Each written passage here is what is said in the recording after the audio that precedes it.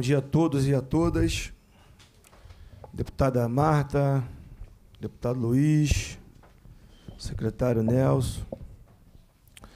É, bom, declara aberta a quarta audiência pública de 2022 da Comissão de Orçamento, Fiscalização Financeira e Controle da Assembleia Legislativa do Estado do Rio de Janeiro, a ser realizada no dia 18 de outubro de 2022, às 11 horas, de forma semipresencial, na sala 1809 do edifício Lúcio Costas, por meio da plataforma Zoom, conforme o edital publicado é, para fim de exposição pelo Executivo.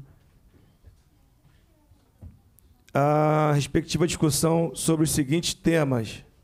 Meu, meu... Aumenta um pouquinho, está muito baixo. Projeto de lei número 6412-2022 do Poder Executivo, que dispõe sobre é, a revisão 2023 do Plano Plurianual 2020-2023, instituído pela Lei número 8.730, de 24 de janeiro de 2020. É, projeto de Lei número 6413-2022, do Poder Executivo, que estima e fixa a despesa do Estado do Rio de Janeiro é, para o exercício de 2023. É, quero registrar a presença dos senhores deputados. Grande líder Luiz Paulo, grande deputada Marta Rocha,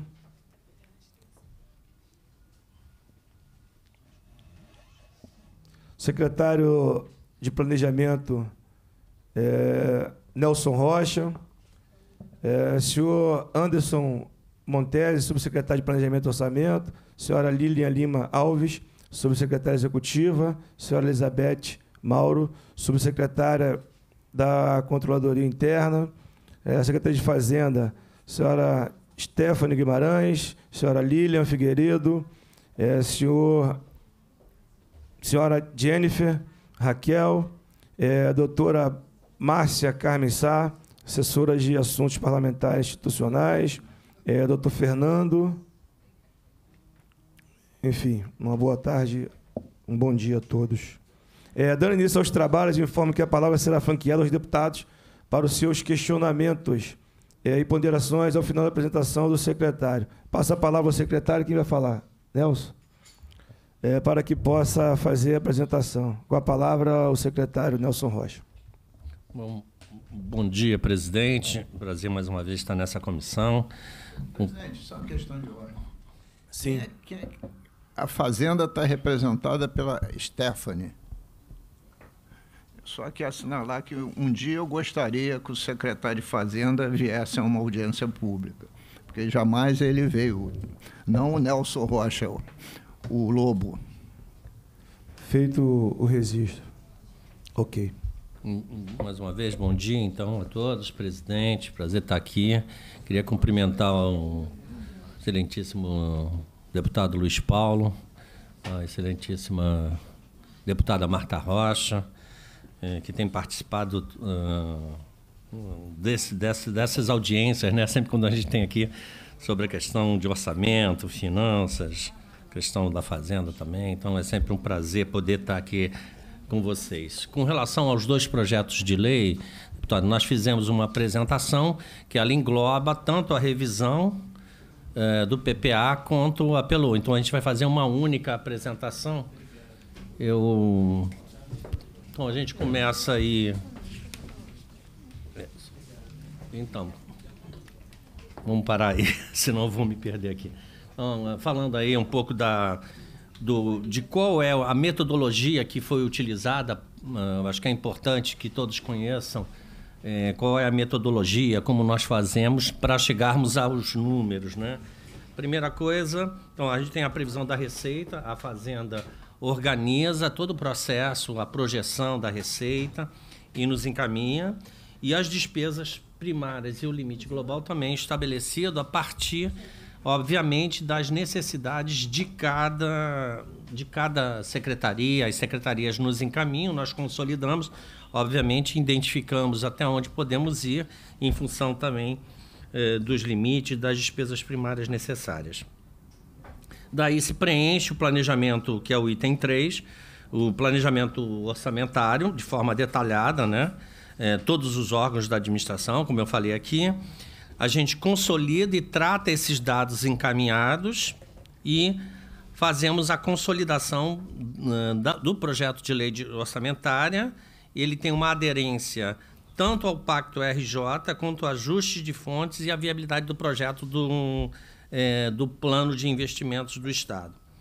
Por fim, uh, tem a, o próprio sistema do CIPLAG, que tem um detalhamento dessas despesas obrigatórias e das reservas de contingência, originando o PELOA, a, o projeto de lei que é encaminhado a essa casa para poder votar. Pode passar, por favor? Próximo item é o plano de investimentos, o PIERG. Né?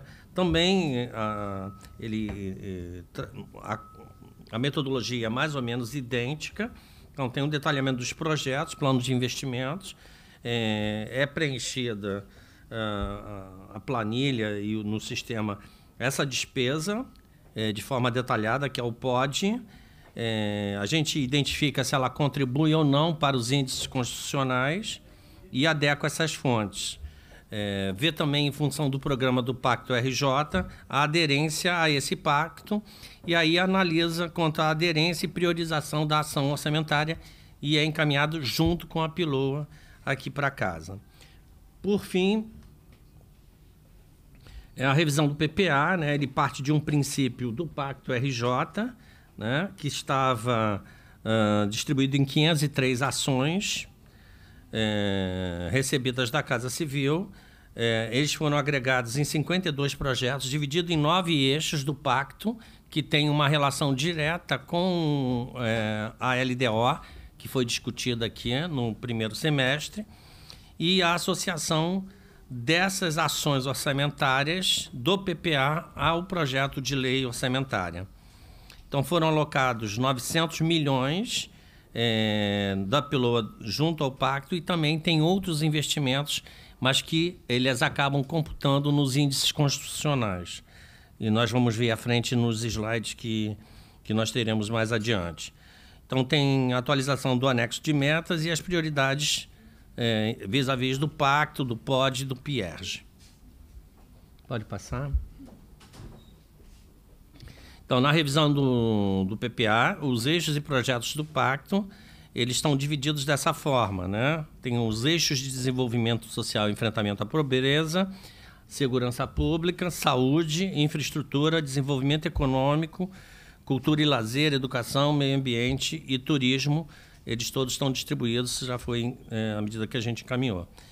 E aí, pode passar, é, falando da revisão propriamente do PPA, quais são os eixos e a, os pilares é, para a revisão do, do PPA. Né? De, do, ou seja, é, não é a revisão, desculpe. Quais são os eixos para a discussão do PPA para o ano que vem, que vai ser apresentado e que, na realidade, reflete um pouco também no que a gente já tem. Então, primeiro, é fortalecimento da governança. Esses são os pilares que nós temos. O fortalecimento da governança e do sistema de planejamento e orçamento né? metodologias de monitoramento e avaliação mais efetivas das políticas públicas a serem é, efetuadas, metodologia que garanta uma programação mais enxuta e focada nas principais entregas, e, por fim, que eu acho que é o grande avanço, né? Uh, o deputado Luiz Paulo sempre cobrou isso, inclusive tem uma, uma PEC tramitando aqui na casa do planejamento estratégico. Está na pauta de hoje. É. Então, que é a vinculação do PPA ao planejamento estratégico. Acho que todos sabem aqui, mas para aqueles que não sabem, assim que, que eu assumi lá a Secretaria de Planejamento e Gestão, nós criamos uma subsecretaria de planejamento estratégico. E não é planejamento estratégico do governo, é o planejamento estratégico para o Estado, como o Estado é, pode é, avançar, seja do ponto de vista do pilar do desenvolvimento econômico, do desenvolvimento social e também do desenvolvimento territorial, como nós espacializamos isso. Né? Mauro, que está aqui, é, que a gente discute muito sobre a síndrome da capitalidade, aquela coisa toda, que está sendo discutido, como nós podemos espacializar os investimentos do Estado e, ao mesmo tempo, fazer o Estado crescer, considerando uma distribuição mais equânime e mais justa para toda a população, e também como esses eixos eles perpassam por, uma, por algumas transversalidades que vão da sustentabilidade, né? Todo o processo de sustentabilidade, ao mesmo tempo é, que também perpassa por uma transversalidade de inovação, tecnologia, como se faz desenvolvimento, desenvolvimento considerando todos esses aspectos. Pode passar, por favor. E aí nós trazemos é, uma novidade, é a primeira vez que isso é apresentado aqui pelo orçamento do Estado, já na revisão do PPA, e a gente vai ver nos slides mais adiante também, na questão orçamentária, que é a, o estabelecimento da programação aos objetivos do desenvolvimento sustentável, sustentável é, previsto pela ONU, são 17 objetivos, e nós começamos a dar um passo para ver efetivamente como o nosso Estado, obviamente, o ideal é que todos os estados, todos os entes da federação pudessem ter isso, mas o nosso Estado dá um passo adiante. É o primeiro estado a estabelecer a conexão do ODS com o orçamento. O PPA já tinha alguns estados, como Rio Grande do Sul, que já tinha estabelecido, mas com o orçamento é o primeiro estado que estabelece essa conexão. Então, é, Aqui tem os 17, não vou colocar cada um, né, que vai desde a proteção à família, erradicação da pobreza e como a gente aloca essas despesas a, a, a essas ODS. Né? Pode passar. Então, ele tem uma conexão direta com uh, as ações e os produtos e indicadores. Nós vamos dar alguns exemplos aqui, os ODS, e isso está na revisão do PPA e estabelece a conexão com o projeto de lei orçamentária também e como a gente adequa essas ODSs ao à execução e a, não só ao orçamento, né? isso não fez parte da peça encaminhada aqui, mas nós vamos estar disponibilizando essa apresentação ao final, presidente, é, para que toda a, a, a comissão tenha e, eventualmente, outros deputados que também o desejarem. Então, no próximo slide, a gente estabelece aí como a lei orçamentária é, tem para cada um dos ODS. Por exemplo, primeiro ODS, erradicação da pobreza, 310 milhões que estão lá destinados. É bom também que se diga que eventualmente algumas despesas elas podem atender a mais do que um ODS, né? Então não necessariamente a soma disso dará o total das ações finalísticas. E aqui a gente só está falando de ações finalísticas. Por exemplo, despesa de pessoal não estão contempladas nessas, nesses objetivos e na alocação desses recursos. Então, erradicação da pobreza, 310 milhões. É, igualdade de gênero, 4,8 milhões. Indústria de inovação e infraestrutura, 621 milhões. Ação contra a mudança global do clima, 94 milhões. É, parcerias e meios de implementação, 77. Fome zero e agricultura sustentável, 611 milhões.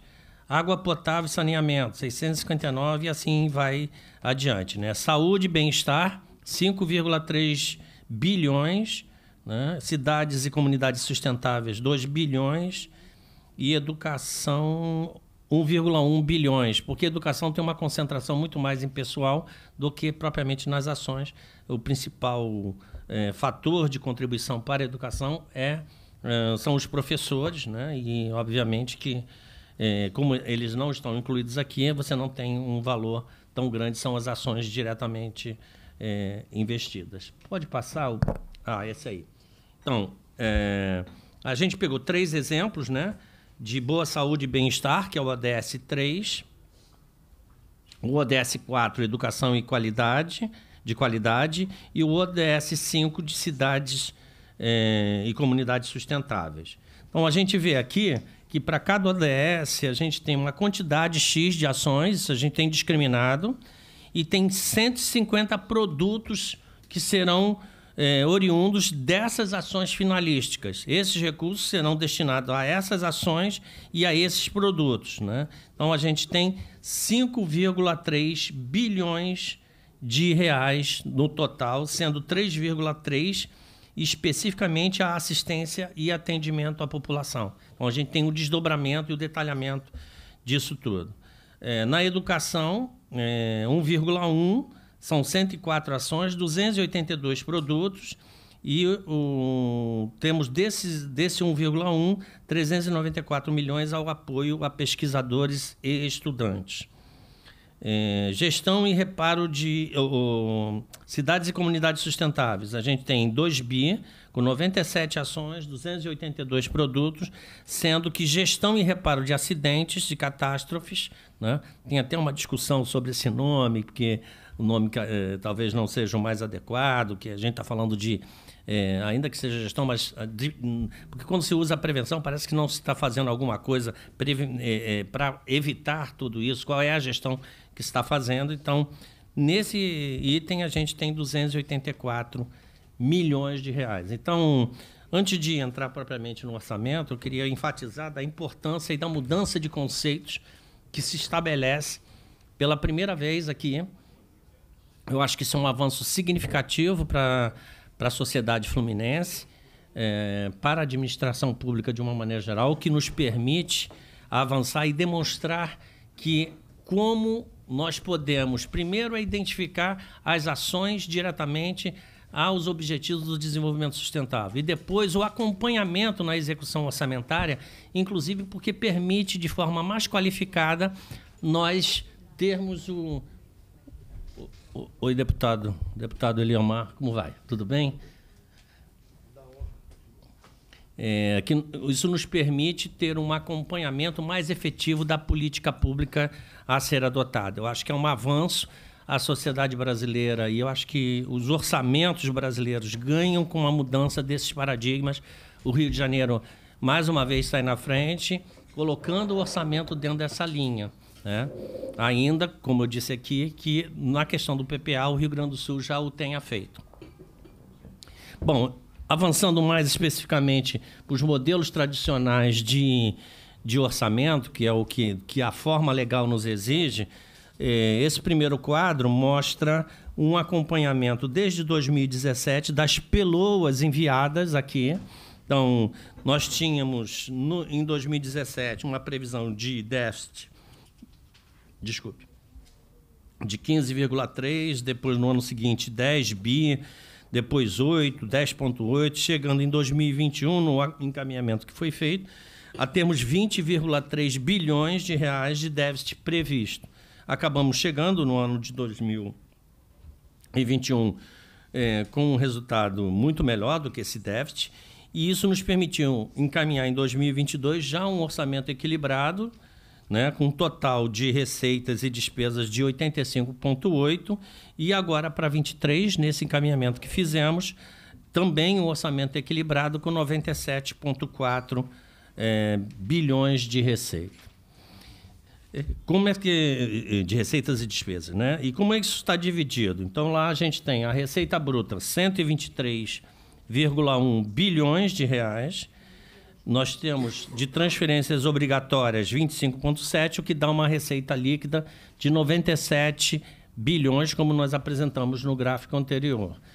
E como eles estão distribuídos? É, por fonte de recursos, 79 bi em recursos do Tesouro e do Fundef e de outras fontes, 18,1, que somam os mesmos 97,4. Pode passar, por favor.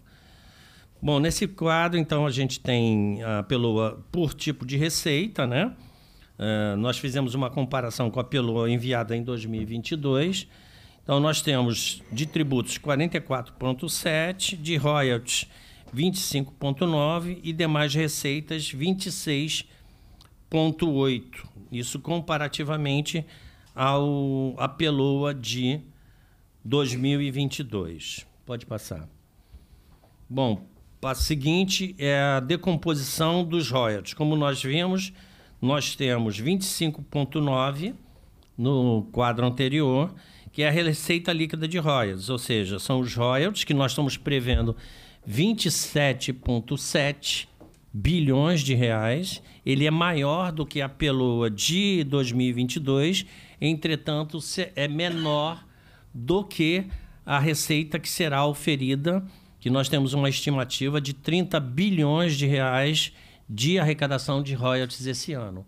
Então, tem uma queda porque tem um entendimento, esses dados são coletados para projeção. Eu não, eu não sei se a Stephanie quer falar, mas, enfim, a forma como isso é, é, é feito, né? A gente. É, é, na realidade, isso são dados que são pegos da ANP, né? fonte Banco Central, sempre tem. Quer passar para ela? Pode ser. Secretário. Bom dia Palavra a todos. senhora Stephanie. Bom dia a todos. Sim, esses dados são. são a, re- a previsão é feita considerando o relatório da ANP e o Brent que a gente tem previsto para 2023. Então, por isso que a previsão acabou ficando em 27,7 para o ano de 2023. tá? Comparando com esse ano. Então, a gente tem ali, é explicado também pela queda na, pela queda na produção e também pela queda é, do valor do Brent em comparação com o ano de 2022. E aí nós temos, então, a transferência para os municípios, 1,8, o que dá líquidos 25,9 que nós colocamos é, lá no dado. E eles estão distribuídos da seguinte forma, né? Uma parte vai para o PASEP, uma parte para o FECAM, uma parte para o FISED, uma parte para o DRE, uma parte para o Fundo Soberano e a grande maioria, 22,4, vai para o Rio Previdência, né, que ajuda no- na composição do fundo financeiro do Rio Previdência. Pode passar.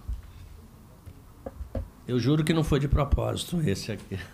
Essa apresentação lá está muito pequena, mas eu vou tentar traduzir, né?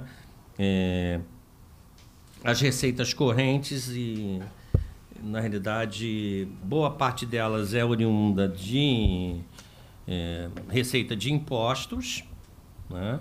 Então a gente, obviamente, é, na, na- última coluna nós estamos fazendo uma comparação com a reestimativa. Quando a gente faz uma previsão com ah, o ICMS, e, que eu sei que é um, um tema que está sempre muito, muito discutido, quando a gente faz uma comparação com o ICMS, se comparado por- com a reestimativa, e o que, que é a reestimativa? A Secretaria de Fazenda ela prepara eh, regularmente, ela prepara regularmente o- uma atualização desses valores. E quando a gente compara com a lei orçamentária anterior, nós temos uma perda estimada aqui de 5 bi. Mas quando a gente fa- faz com a reestimativa, essa perda é menor. E no total da receita, a gente tem um valor maior, apesar disso tudo, maior do que a gente tinha previsto no Peloa. Só que é, o- isso foi adequado na LOA, porque o Peloa também, quando foi enviado, tinha ainda uma defasagem de tempo, os recursos aumentaram, e nós tivemos uma perda efetivamente no ICMS, que não é fruto é, da, da Fazenda, mas sim da Lei Complementar 194, que acabou restringindo os recursos é, de arrecadação, especialmente nas áreas de combustível, de telecomunicações e de energia. Então, ainda, ainda está em discussão no STF, de qualquer forma, de- eh, na elaboração do orçamento, a, a Secretaria de Fazenda, me corrija se eu estiver errado, Stephanie, a Secretaria de Fazenda ela adotou uma postura obviamente conservadora, considerando de que nós teríamos essa perda. E apesar disso tudo a gente conseguiu elevar a receita no que diz respeito a outras fontes de recursos como os royalties, não em relação ao royalty atual, mas em relação ao que a gente tinha projetado no orçamento anterior, que nos permite nesse momento ter um, um, um crescimento e o, equilíbrio fiscal. É, obviamente que se nós tivéssemos essa arrecadação, as condições poderiam ter sido eh, diferentes, a gente poderia ter outros, outras fontes de recurso, outra utilização desses recursos também, eventualmente para outras atividades, mas eh, a elaboração considerou esses aspectos. Então, a gente tem um crescimento eh, relativo ao IPVA, relativo ao ITD também, né? O ITD também teve um- uma distorção ali em 2021. Nós tivemos um crescimento muito grande do ITD eh, face a, enfim, heranças, muita, muitos provocados até por conta da, uh, teve um número excessivo de falecimentos e isso acabou gerando também, porque isso acaba fazendo uh, que existam doações e as transferências que são as heranças. Né? É, o, o, o adicional do ICMS permanece praticamente inalterado, porque não houve modificação, e as taxas também, basicamente, os mesmos valores. É... Com relação à receita de royalties, que é outro item importante, nós temos um crescimento em relação à LOA de 22, que ela tinha uma previsão de 24 bi, nós estamos prevendo 27,7, mas menor do que a nossa reestimativa para esse ano, que é de 30 bilhões de reais. Então, considerando todos esses aspectos, se nós é, temos uma comparação ao que temos, tanto do ponto de vista da LOA, quanto do ponto de vista da reestimativa, nós temos uma diferença positiva. Em relação à LOA, que foi aprovada aqui pela Casa, ela tinha sido aprovada de receita líquida total 92,9 e agora na PELU encaminhada, nós temos 97,4. Portanto, quase 5, 4 bi e meio acima da previsão eh, do que tinha sido estabelecido na LOA de 2022. Pode passar. É, bom, aí são as fontes, é, são as despesas por fonte de recursos, né? Parte é do Tesouro, é, dos, oriundo dos impostos, outros são de outras receitas do Tesouro, parte dos royalties também, que também é Tesouro, porque isso é contabilizado como fundo, como aporte no fundo, parte do FECP, do FECAM, enfim, de cada um desses itens que está colocado, assim como o Fundeb, que também tem um, um valor significativo de 4,14. Pode passar. E aí, por grupo de despesa, então, nós temos pessoal e encargos sociais 62,4%, despesas correntes 27%. É bom é, frisar que dentro dessas despesas de pessoal. Virou. Virou. Virou. É que ele é muito parecido com o anterior. Parece que é igualzinho. É, e são as mesmas cores, mas virou. Dentro dos 62 previstos, está contemplado o reajuste de previsto lá no que tinha sido feito num acordo com a Assembleia Legislativa, em que nós tínhamos é, 26% do acumulado, é, foi dado 13% e ficaria 25% e 25% do restante, o que dá 6,52%. Eu achei que era isso, mas podia estar errando. 6,52%.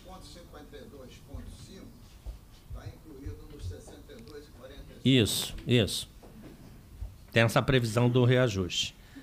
Bom, próximo slide, a gente está falando de investimentos. Né?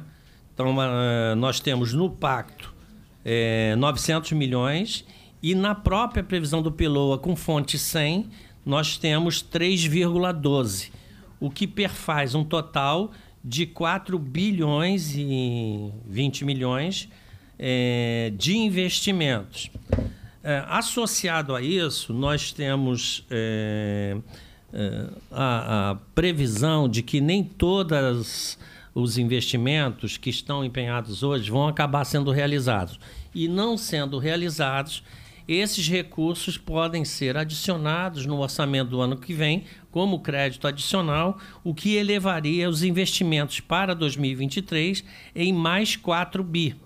Então a gente teria uma previsão aí, ainda que ele não possa, por uma determinação legal, compor o projeto de lei orçamentária, nós teríamos 8 bilhões de reais de aproximadamente de investimentos em 2023. Pode passar, por favor. E aí a gente dividiu, são quadros mais elucidativos, né? A despesa de com, por funções que, que são superiores a um bi e no outro quadro abaixo de um bi. É, os principais são Previdência Social, que já é, é clássico, né, em função da, do Estado, ao longo do, de décadas, não ter feito os aportes necessários para que a gente tivesse um fundo atuarialmente consistente para pagar os, os servidores da sua aposentadoria. Então, o Estado hoje desde 2016 ou 2017, não me lembro, quando houve o corte, tem o fundo financeiro e o Estado des, é, acaba aportando todos os recursos dos royalties lá para poder fazer face às despesas com os servidores aposentados. Então, a gente tem de segurança pública é, um no piloto de 22 a gente tinha 12,3, agora temos 15. Em todos, saúde era 8,9, passamos para 9,66. Educação, 8,72 para 9,2. O judiciário, de 5,35 para 6,5. Administração, de 5,3 para 5,9. Encargos especiais tem uma redução de 6,26 para 5,79, em função do que eu tinha falado do ICMS. Com a queda do ICMS, então você também diminui os encargos especiais. É, e aí outras despesas, né? essencial a justiça, legislativa, em todos os casos a gente tem uma ou a manutenção ou uma pequena elevação, não há tanta diferença para 2022. No próximo slide, a gente vai ter abaixo de um bilhão, né? gestão ambiental, é, ciência e tecnologia, em todos os casos, estão muito próximos esses valores. São valores menores, mas de qualquer forma, sempre mantendo ou, em alguns casos, aumentando relativamente a peloa de 2022. Enfim, eram essas as as considerações e a apresentação dos dados. Nós estamos aqui à disposição para qualquer pergunta que seja necessária para esclarecimento aos nobres deputados. Obrigado, secretário. Depois, por gentileza, enviar esse material Sim. para essa comissão para que ela possa enviar. Nós já vamos deixar disponibilizado para ali, presidente. Os membros. Já estamos deixando aqui disponibilizado o, arquivo já. Tá vai ficar aqui. Muito obrigado. É, eu quero franquear a palavra aos senhores deputados é, primeiro inscrito, deputado Luiz Paulo, com a palavra.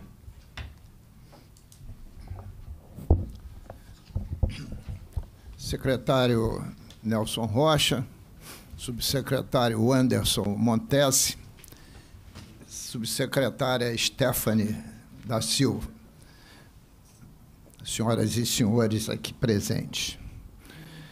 Secretário Nelson Rocha, eu queria iniciar com as simulações dos valores. Pelo que eu verifiquei, nós temos uma chance enorme de ter um quadro de déficit orçamentário. Eu considero as receitas estimadas, principalmente do ICMS, não estimadas corretamente, mas superestimadas, para que o orçamento fechasse igualando receita e despesa. Primeira crítica, secretário Nelson Rocha. O senhor falou das perdas derivadas da Lei Complementar Federal 194 de 2022, repetindo aquilo que está escrito na LOA. E essas perdas derivadas são oriundas de três decretos do governador do Estado, e não da lei complementar federal. Três decretos. O decreto 48144 de 22, o decreto 48145 de 22 e o decreto 48146 de 22 sendo que o decreto 48.145 de 22 foi que reduziu as alíquotas em, para 18 pontos percentuais. E aí isso vai representar, no ano de 22, uma perda considerável e no 23, se ele se prolongar até lá, maior ainda, né? porque o decreto passou a vigorar a partir de 1 de julho de 22. Então, esse ano impactou sete meses e no ano que vem vai impactar as receitas do ICMS durante os 12 meses. E um decreto que eu ouso dizer que é totalmente inconstitucional. Porque o governador não tem autoridade de reduzir a, alíquota por decreto. E tanto é verdade que ele fez encaminhar essa casa a posteriori a mensagem 31 de 22, que contém o projeto de lei 6171 de 22, que nada é uma cópia quase fiel do inconstitucional decreto 48145. Bom, vamos lá. Na CPI da dívida, que consta esse número lá, nós vamos aprovar o relatório final na próxima quinta-feira, né? arguída a Secretaria de Fazenda sobre esse impacto, e a Secretaria de Fazenda, simulando os dados de 21, porque ainda não tinha o impacto real em 22, simulou essas perdas com os dados de 21 em 8,6 bilhões de reais. 8,6 bilhões de reais. Aliás, está escrito no voto divergente que eu apresentei. Bom, dito isso, Vossa Excelência, ao fazer a sua exposição, o senhor cotejou as duas loas, a piloa de 23 com uma piloa de 22. Jamais o senhor fez menção à LDO de 23 na LDO de 23, né, as previsões orçamentárias eram superiores à que veio na piloa de 23. E para ICMS, em números redondos, estava previsto 50 bilhões. 49, um quebradinho, tem aqui o número correto, mas aproximadamente 50 bilhões. A sua previsão de ICMS na piloa de 23 é 44,7. 50 menos 44,7 tem uma perda aí de 5,3 bilhões. Isso nos números oficiais da Secretaria de Fazenda e Planejamento. Porque nos números, que se eu cotejar com os números da estimativa em relação a 21, 5,5 ainda é bem menor do que 8,6. Então, primeiro, tem perda significativa de ICMS. O senhor pode me dizer assim, mas são estimativas. Né? Evidentemente, tudo é estimativa. E é sempre preferível estimar de forma conservadora do que estimar de forma ousada ou até superestimar. Então, esses números estão superestimados. E que nos traz uma grande incerteza. Uma grande incerteza. Por quê? Se esses decretos caírem esse ano, a gente vai ter uma melhor arrecadação em 23. Mas se não caírem, nós vamos ter um 2023, no meu entendimento, muito ruim. Muito ruim. Bom, este é o, este é o primeiro ponto. O segundo ponto, que também não, não é nem citado, e alguns até aqui desconhecem, que o governador fez um outro decreto reduzindo a margem de valor agregado do setor atacadista de 12% para 9%. Reduziu 25%. E eu confesso a você que não tem nem série histórica para calcular esse impacto. E os textos que vieram também não calculam. Né? É um decreto que cria uma comissão para, em seis meses, dar contorno a um projeto de lei da CMVA, mas que a gente já está perdendo. Né? Mas o projeto de lei do Piloa não faz menção a este decreto. E muitos aqui nem conhecem o decreto, né? porque saiu subrepticiamente no meio da campanha eleitoral. Incentivos no meio de campanha eleitoral. Aliás, eu não me surpreendo, deputado Canela, porque isso tem sido uma regra também no nosso país. Usar recursos públicos e abri, abrindo mão dos mesmos para vitórias eleitorais. Bom, dito isso, eu ainda tenho outras questões a perguntar a vossas senhorias.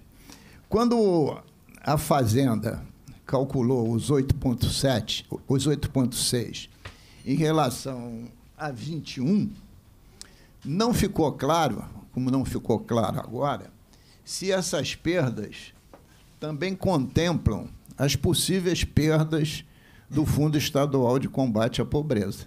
Né?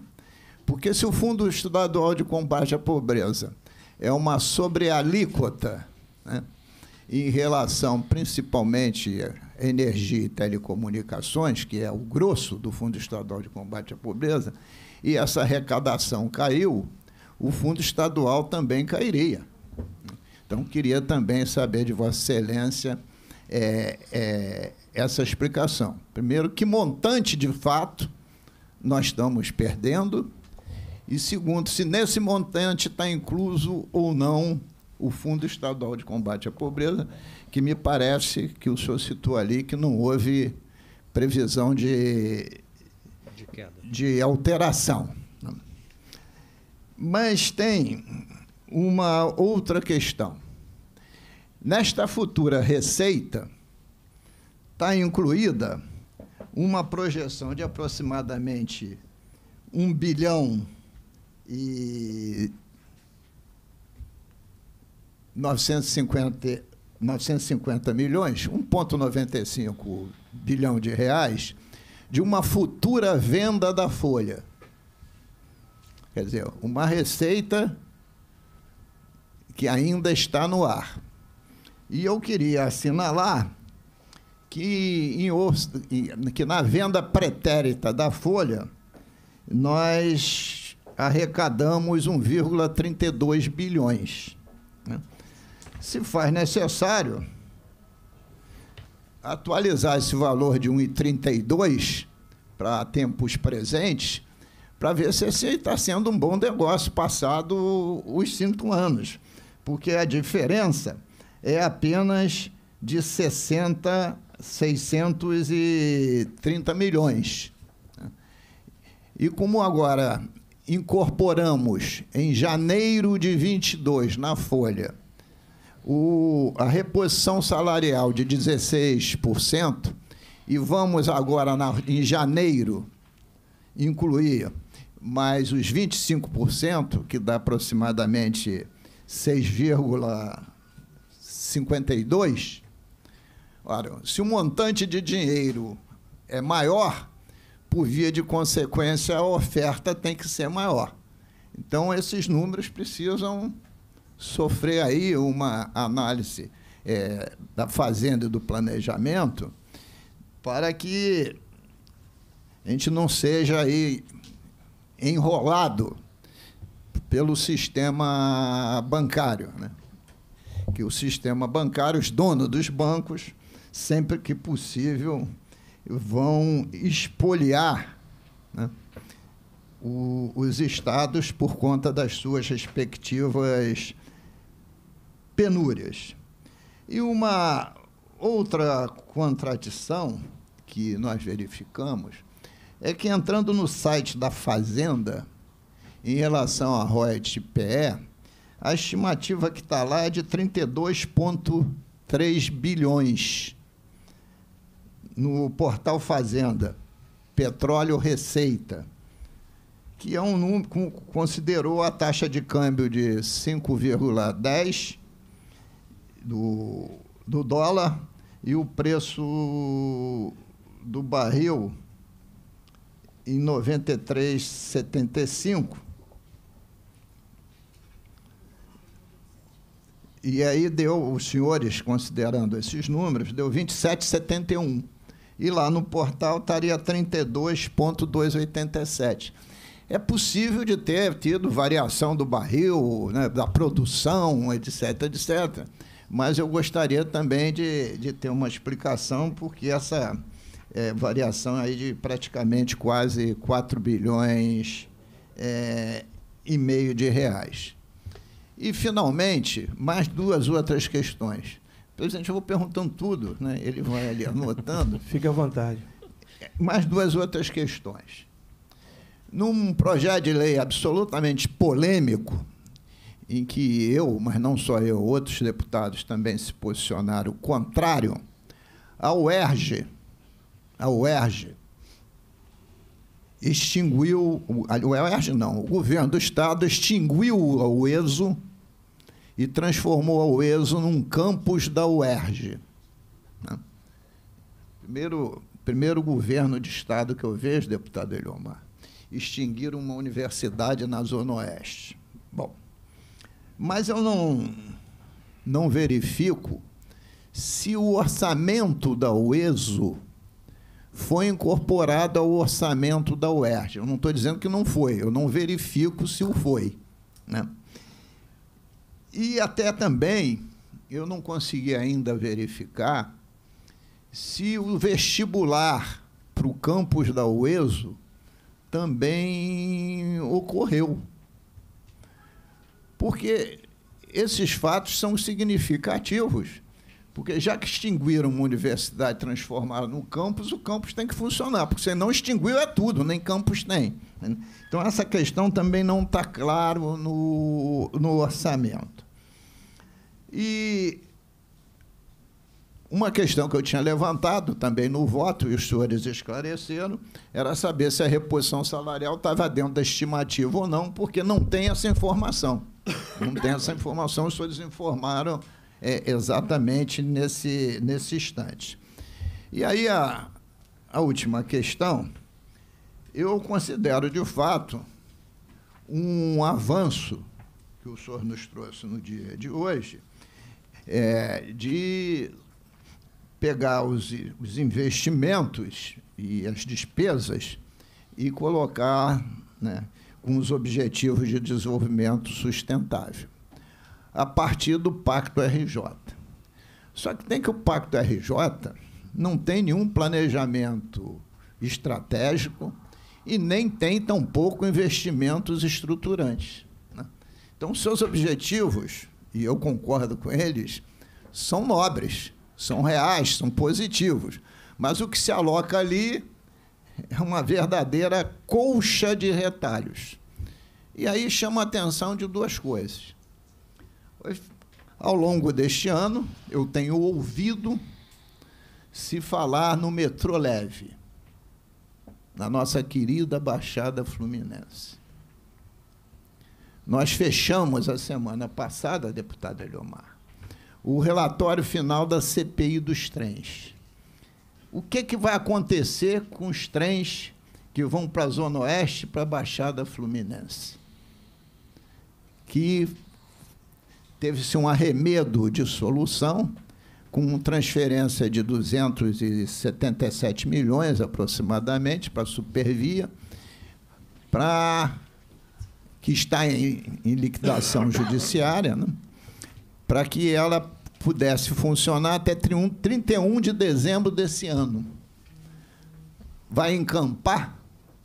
Se vai encampar, tem que ter os recursos alocados para essa encampação. Se vai produzir um novo acordo, tem que ter os recursos alocados para esse novo acordo. Se vai ter uma, um regime transitório para uma nova licitação, é uma outra hipótese. Mas hipóteses que não estão consignadas no orçamento. Nós decidimos, inclusive, na CPI, que nós vamos produzir, quando abrir para emenda, uma emenda da comissão somente para a questão do, dos trens da Baixada e da Zona Oeste. Porque se desestruturar o trem, acabou o sistema de transporte. Então não tem mais nada, nada mais estruturante que os trens. Então, como está falando em outras soluções de transporte, quando a central sequer está resolvida. E se associa a isso o sistema de barcas, que também estamos pendurados no ar, porque a concessionária quer ir embora. E, além disso, além disso, o fundamental para o Estado, que é ter o controle da Câmara de Compensação Tarifária, que tem lei específica, tem ação do MP, da Defensoria, o Estado vem empurrando com a barriga. Né? Então, a gente quer olhar para o futuro. Novo quadriênio começa em 1 de janeiro de 2023. E esse orçamento é um orçamento importante desse primeiro ano. E eu estou me fixando na LOA, porque a revisão do PPA, por mais que se tente, não pode dar certo, né, porque esse, esse programa Pacto RJ é um arremedo, é uma colcha de retalho, não tem absolutamente consequência nenhuma. Então, queria levantar essas questões para ouvir de Vossa Excelência e da doutora Stefani, porque o secretário Lobo é uma pessoa VIP, não pode vir no parlamento fluminense, né? as respostas a essa questão. Né? Todo secretário pode vir, o da Fazenda não, pode ser a pessoa acima do bem e do mal, muito importante, não pode perder tempo com o parlamento fluminense. Por favor. Quem vai responder? Acho que várias são minhas, né? É. Melhor começar. Deputado, obrigada. É, secretário Lobo, ele está de férias, então. Ué, mas não fez nenhum ano na casa, já está de férias, senhora? Só registrando Eu estou há quatro anos aqui dele. e não tirei férias. Não, ele não é secretário nem um ano, já tirou férias? É, com relação à receita de ICMS, a projeção que foi encaminhada para a LERJ em julho foi a primeira projeção que nós fizemos. Então, nessa primeira projeção, a gente tinha uma perspectiva é, de uma perda maior.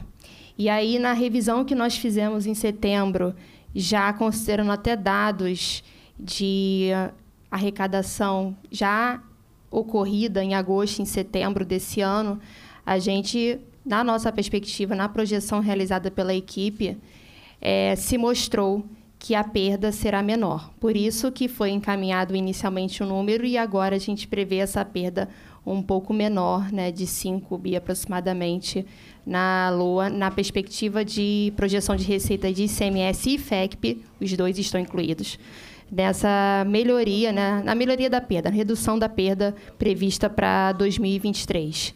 Tá? É, utilizando os mesmos parâmetros estabelecidos na primeira na primeira PELOA encaminhada pela, pela CEPLAG.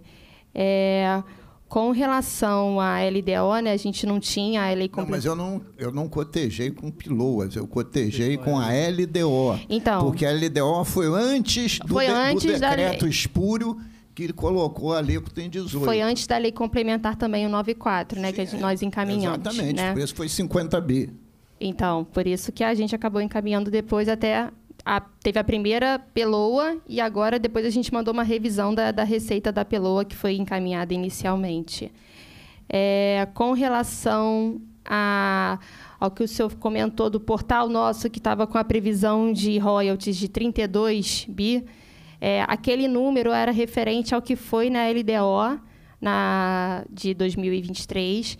Nós já fizemos a correção no site, a observação no site, que aquele número se refere a LDO de Agora, 2023. passar para 27. Agora está 32. Não, está 32, mas com a observação de que é o número da LDO. Tá. Tá bom. É, com relação. Acho que fui anotando aqui, deputado, os pontos. Com relação à precificação né, da. Que ali é uma previsão que nós fizemos né, com relação à, à venda da folha prevista para o ano que vem. Então, na verdade, esse número pode, pode ser maior. A gente, na verdade, foi uma. Nós fizemos a atualização dos parâmetros, então é uma projeção, na realidade. A gente já está prevendo ali. Eu só fiquei preocupado, uhum. Porque não seria só uma correção pelo IPCA. Não, a É, gente. é, é, é considerar as reposições salariais que dá um maior volume à folha. Sim, sim. Não, não, não, só, não só De- simplesmente pegar esse valor e É. atualizar. Não, não, deputado. A gente utiliza uma metodologia de precificação com outros critérios também. Passar a É, presidência para o senhor, rapidinho. Pode. Então, acho que falei, comentei todos os pontos que foram levantados, deputado. É, só, só fazer aqui uma pergunta, já que ele me passou a presidência. Essa, esse cálculo dessa atualização da venda da folha, os senhores têm um memorial, uma nota técnica, como foi essa atualização, o que, que considerou, o que, que não considerou? Isso consta no processo administrativo que está que tá em Então, andamento. Eu gostaria que a comissão de orçamento tivesse uma cópia para ilustrar a discussão do orçamento, da PILOA de 2023. Porque está no orçamento o valor. Quando os senhores mandam o orçamento, todos os valores estimados, vocês explicitam a forma de cálculo do mesmo. Então, gostaríamos de receber também esse demonstrativo de como chega esse número. Ok. Eu Secretário só, Nelson aproveitando para esclarecer essa questão. Primeiro, é, é, sempre se faz uma confusão, e acho que até na- no encaminhamento do orçamento, se fala de venda de folha. A rigor não é venda de folha, né? É a, a contratação de um banco que operará e que, por conseguinte, tem como prioridade, que é onde eles ganham dinheiro, que é a questão da folha. Então, se faz uma confusão dentro do próprio governo. Não é venda de folha isso. Só para a gente deixar bem claro. Só- é a... Eu, só- sei, não, eu sei que fomos que tá nós que. Foi a nosso. receita referente à venda Eu da sei, folha deputado. de pagamentos. Por isso é que eu estou falando que é um- é um erro conceitual. É um erro conceitual nosso. O que está sendo contratado é a operação, que envolve uma série de coisas, inclusive a questão da folha. É óbvio que aí acaba se adotando esse, esse vício de que é um erro, porque é onde se tem o maior recurso. Mas deixa eu complementar um pouco aqui o que a Stephanie falou. Primeiro tem um, um módulo de cálculo e aí com todo é, eu, eu queria fazer uma deferência especial ao Tesouro do Estado. O Tesouro desenvolveu uma metodologia a partir até de experiências anteriores na contratação de instituições privadas que faziam. E o Tesouro passou a desenvolver ele mesmo, sem que o Estado precisasse contratar, porque muitas vezes é caro essa, essa, essa a a- o cálculo, a formulação, como isso se dá.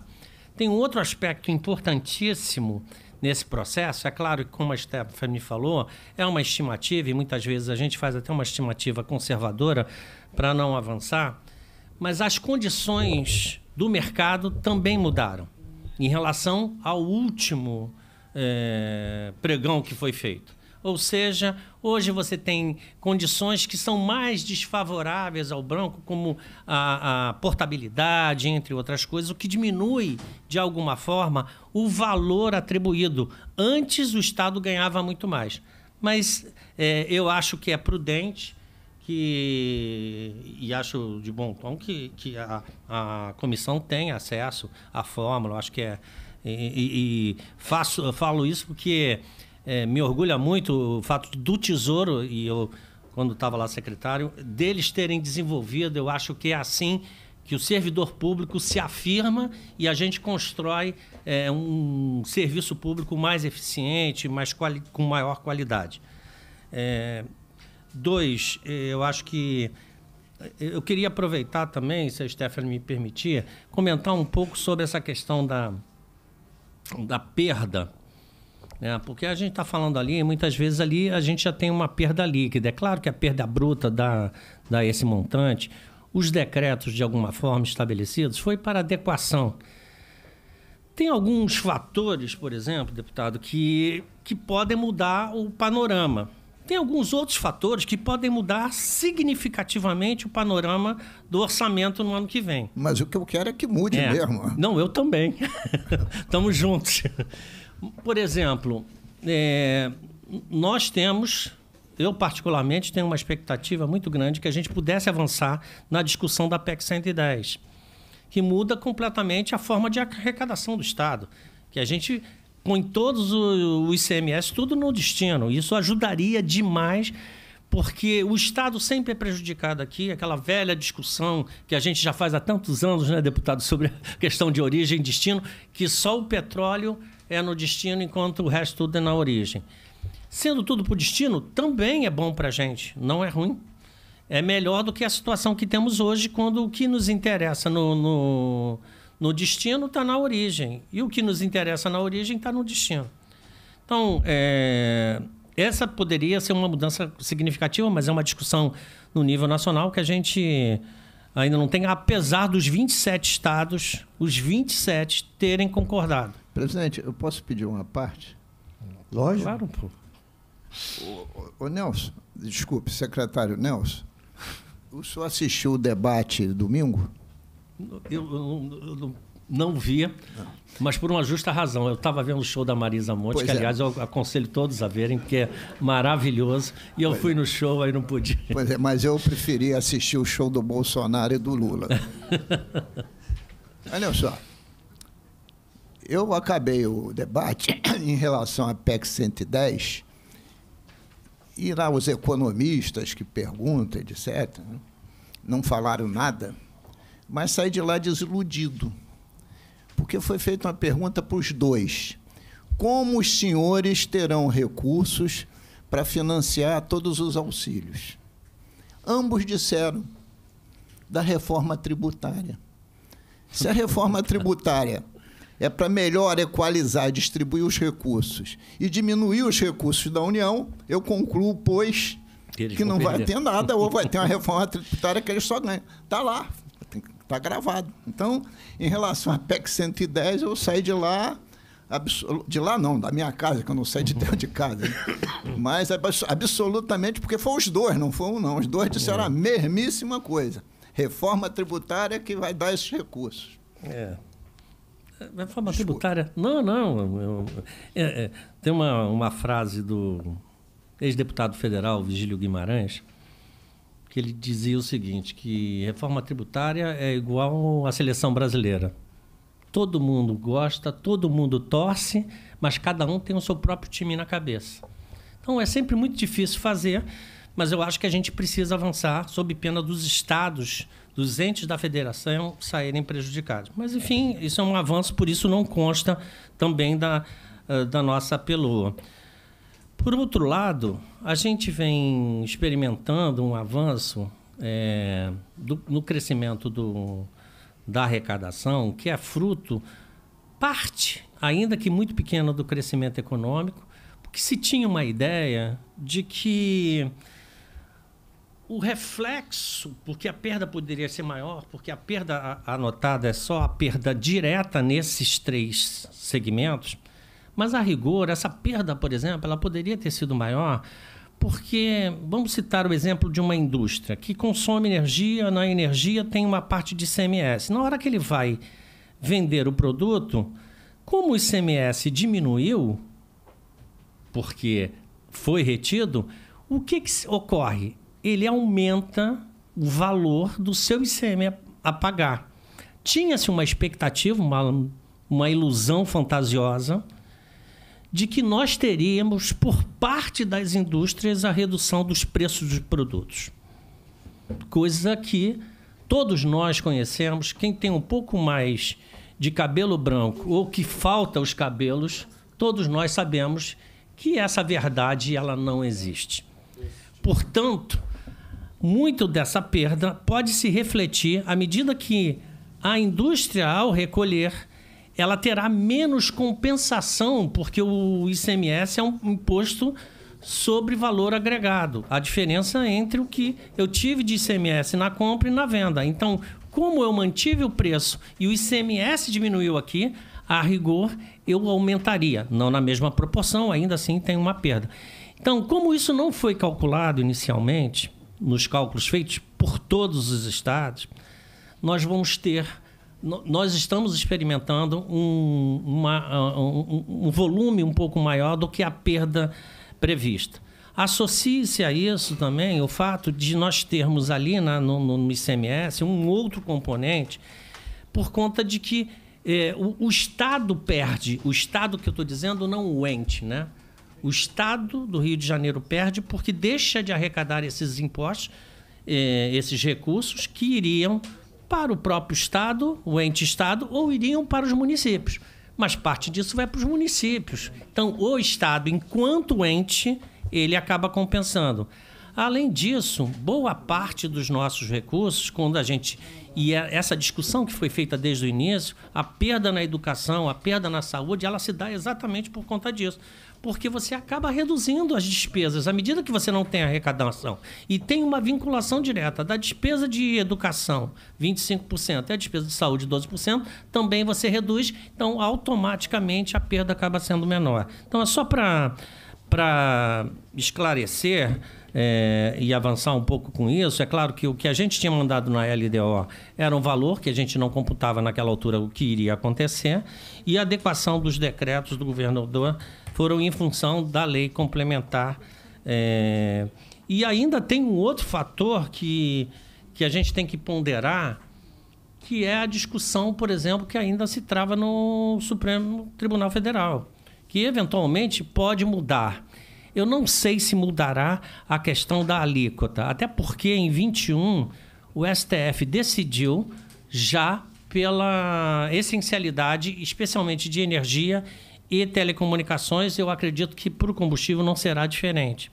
Entretanto, tem um outro fator que consta da, da lei complementar, lá o artigo 2 que diz respeito ao ICMS sobre a TUSD e a TUST né? que isso reduziu também significativamente. E quando a gente fala dessa perda de 8,6, também considerava-se a perda nesse aspecto.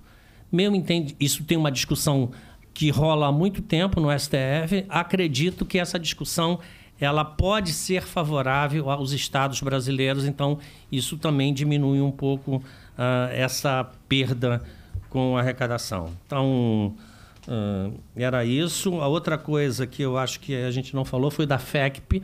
A FECP ela está mantida, ela não faz parte dessa perda, ela é tratada de forma separada. E ela, a FECP aqui no Rio de Janeiro vai até o final de 23, né? Uh, provavelmente nós estaremos encaminhando, o governo estará encaminhando ainda no, no primeiro semestre de 2023 para que possa ser renovado. Uh, e por fim. Então, eu acho que eu falei também da, da receita aqui, eu falei disso, falei disso.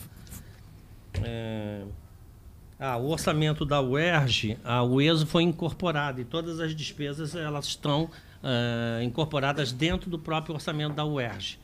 Ela, o fato dela ter sido incorporada, ela já vem no, no orçamento de 23 sim, dentro da UERJ.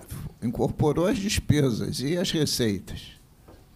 Sim, mas ela não tinha, ela tinha muito pouca receita. Sim, mas que fazia nenhuma. face as despesas. É. a receita também, da mesma forma. Se você forma. incorpora a despesa e não bota a receita, você comprometeu o orçamento primário da UERJ.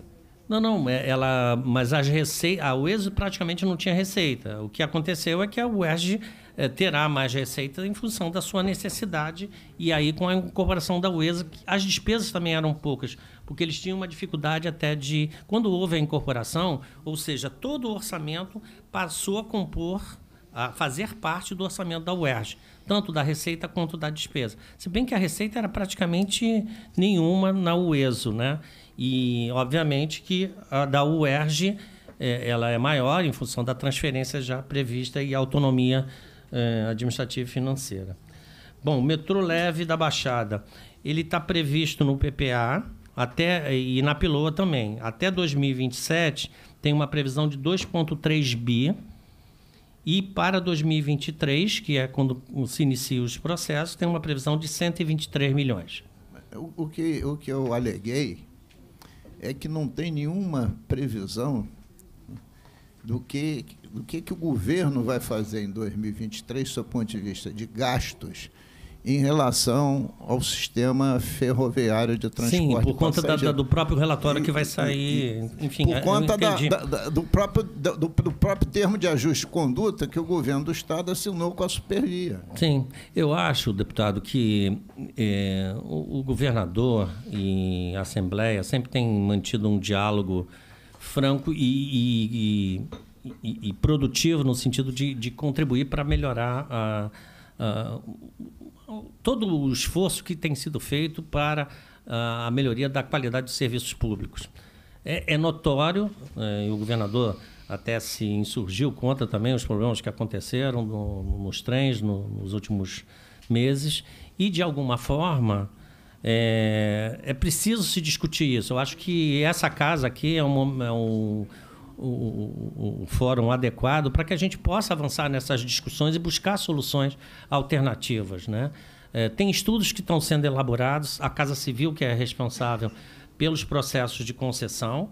É, eu acho que a gente tem um problema, tem vários, várias discussões é, sobre que forma se adotar, se é melhor uma forma ou outra, como fazer, por exemplo. Eu já escutei diversos engenheiros também falando sobre a possibilidade de aproveitar mais o espelho d'água como forma de transporte. Enfim, tem uma série de discussões que, obviamente, elas são mais próprias à, Secretaria de Transporte, né? Eu não sou engenheiro de transporte e não sei, mas o, eu, dia eu que só... a, o dia que a Secretaria de Transporte tiver um engenheiro de transporte, eu vou ficar feliz, porque não tem ninguém que assuma lá a secretaria dos últimos tempos que, que saiba uma linha sobre transporte. Eles entendem tanto de transporte quanto eu de pilotar avião. É. Mas, Só para concluir, Nelson. É, só para. Então, eu, eu, na realidade queria é, agradecer a oportunidade. Eu talvez tenha cometido um erro, deputado Luiz Paulo. Eu não sei. É, a questão das ODS, elas não têm uma vinculação direta com o pacto. Talvez eu tenha, na hora que falei, posso ter errado o termo. Elas são o fruto das ações finalísticas né, é, que cada secretaria tem com, é, relacionada a determinadas ODS. Então, são as despesas comuns, são ações de, especialmente para a erradicação da pobreza hoje tão presente que, que nós temos uma preocupação. Então, a ideia é que a gente possa vincular isso e, ao mesmo tempo, medir com mais eficácia e efetividade a política pública adotada para que a gente possa ter essas respostas também. O que eu acho que avança, e aí, falando muito, muito francamente, em nome do governo, dizer que nós estamos abertos à discussão, ao aprimoramento, porque é assim que a gente constrói um, horizonte melhor para a sociedade. É, é um primeiro passo é, precisa muitas vezes de aperfeiçoamento e nós gostaríamos de contar com a contribuição também aqui da, da Assembleia Legislativa, do Poder Legislativo e, e de toda a sociedade para que a gente possa melhorar a cada dia. Muito obrigado, deputado. Obrigado, secretário. Passo a palavra para a deputada Marta Rocha. Bom, boa tarde a todas e todos. Eu quero compartilhar aqui a observação feita pelo deputado Luiz Paulo e, primeiro de tudo, elogiando sempre a fidalguia com que o secretário Nelson Rocha atende aos convites dessa Casa de Lei, seja como secretário de Fazenda ou seja como secretário de Planejamento. E é lamentável que é, outros integrantes do governo não tenham a mesma postura. Então, quero me solidarizar aqui com a observação feita pelo deputado Luiz Paulo. A outra questão, eu quero também dizer que achei muito interessante essa vinculação é, aos objetivos do desenvolvimento sustentável. Né? É, pensar em planejamento estratégico, pensar é, o futuro e ter isso de alguma, de alguma forma amarrado nas questões orçamentárias, eu acho que merece a nossa, o, merece o destaque desse, dessa nova conduta. Mas quando a gente vai comparar a Peloa de 21 para 22, né? E comparando também o crescimento de 22 para 23, é, me chama a atenção que na área da assistência social houve um, uma, uma diminuição em torno de 14%. É, esse é dado aqui colhido pela nossa assessoria. E quando a gente vai pensar nos Objetivos do Desenvolvimento Sustentável, a gente vai ver que tem lá erradicação da pobreza, fome zero, igualdade de gênero. A gente sabe que na Secretaria de Direitos Humanos e Assistência Social, a gente tem aí, ali vinculado questão de gênero, negros, intolerância religiosa. Né? Outro objetivo, a redução das desigualdades. Outro objetivo, paz e justiça é, e aí instituições mais eficazes. Né? A gente tem dentro, dentro do guarda-chuva dessa secretaria, o programa de proteção às testemunhas. Então, me parece que é, há uma. Eu gostaria de entender por que esse impacto tão grande aí na Secretaria de Assistência Social. Fiquei até feliz de ver aqui a valorização da Secretaria de Segurança, da pasta da segurança, mas é, também pensar um pouco sobre essa questão da assistência social e também né, na questão da habitação, que, se não houver equívoco da minha assessoria, há uma diminuição de cerca de 53%. E quando a gente olha essas questões vinculadas, como o próprio secretário disse, vinculadas à, à população de rua, embora inicialmente não seja uma atribuição específica é, do governo do Estado, mais das prefeituras, mas eu acho que o governo do Estado pode sim é, atuar, sobretudo quando a gente pensar na habitação de interesse social. E feitas essas considerações, eu queria também dizer que eu trago comigo uma preocupação, talvez porque eu já seja aposentada, eu trago comigo uma preocupação que é a questão da previdência, né? E na sua fala, secretário, o senhor falou algo em torno de 30 bilhões e que vai deixar é, sem é, sem previsão ou sem pelo menos proteção, vou usar esse termo assim mais genérico, a questão do Rio Previdência. E aí tenho martelando comigo a fala de um ex-governador do estado que sempre falava que a culpa era do barril do petróleo. Né? Quando a gente vivenciou aqui o ápice da crise financeira nos anos de 2016 a 2018. E quando a gente vai para a leitura dos dados fornecidos do barril do petróleo, né, a própria doutora Stefani falou sobre isso, né, eu que tenho até uma curiosidade de saber qual é a previsão do Brent para a Secretaria de Fazenda. Né? A gente vê que esses dados são sempre muito voláteis porque dependem de situações exteriores ao nosso país. Então, queria entender um pouco mais, né? É, daí a minha preocupação, como é que vai esse, essa, esse reforço à área da Previdência Social, né? E também sugerir aqui, presidente Márcio Canela, que as comissões temáticas elas pudessem, pode ser inclusive uma sugestão de Vossa Excelência, que as comissões temáticas elas pudessem conhecer de uma forma mais detalhada. Aqui a gente tem uma análise numérica, a gente não tem uma análise temática. Na Comissão de Saúde, a gente tem lá a ferramenta é, dos relatórios trimestrais. Então, a gente consegue saber aonde a, a saúde está investindo. Mas, de toda sorte, eu acho que as comissões temáticas poderiam discutir né, esses investimentos feitos com base nos Objetivos do Desenvolvimento Sustentável. Quero lamentar que a gente não tenha na área da saúde uma identificação individual dos hospitais. Isso não é uma criação nenhum, nem muito menos, né, algo algo um capricho meu como presidente da comissão de saúde, mas isso é fruto daquilo que a gente vivenciou na comissão Covid. Portanto, se a gente tivesse, né, é, para cada hospital uma ação, acho que a gente poderia acompanhar melhor o desenvolvimento do hospital o desenvolvimento do investimento e do gasto. E, por último, só lembrar aqui, né, deputado Paulo, que a CPI é, da, dos trens, ou a CPI da Supervia, que levou um ano para ser colocada em execução, né, a gente verificou, deputado é, secretário Nelson, que apesar de todas as posturas que o governo do Estado possa ter tido em relação ao transporte, nós estamos no quinto secretário e a antecipação da concessão, me corrige, deputado Luiz Paulo, em mais de 20 anos, e quando a gente vê aí não só a pouca qualidade de um serviço prestado, né, o investimento direto na concessionária e antecipação dessa concessão, em mais, em, possibilitando aí 20 anos de efetivo, de efetividade, é, me parece um pouco é, incongruente entre aquilo que o governador fala e aquilo que a conduta que foi adotada aí pelo próprio, próprio governo. São essas as nossas considerações. Muito obrigada. Falar você, Nelson. É, bom, eu queria. Eu vou começar pela, pela última questão da saúde, que, que me é muito cara. Eu já tive uma experiência como subsecretário na época, no governo Marcelo. Fui lá para um, apagar um incêndio na época e aprendi muito.